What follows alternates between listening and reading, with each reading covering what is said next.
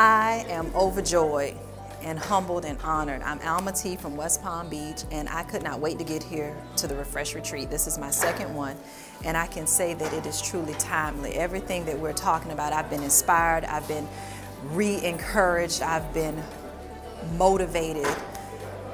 It's reaching me at a time in my life where I know I needed to pivot and God was calling me to do things and he promised that he will confirm his word with two or three witnesses. And if it hasn't been confirmed here, I don't know what has. I'm grateful for Amy. I'm grateful for her passion, her vision, her discipline, and her dedication.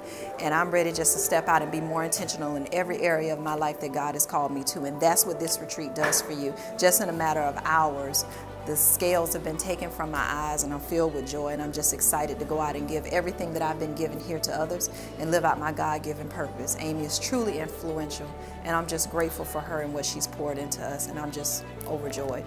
You have to make the next Refresh Retreat. It will truly, truly change your life. I'm grateful.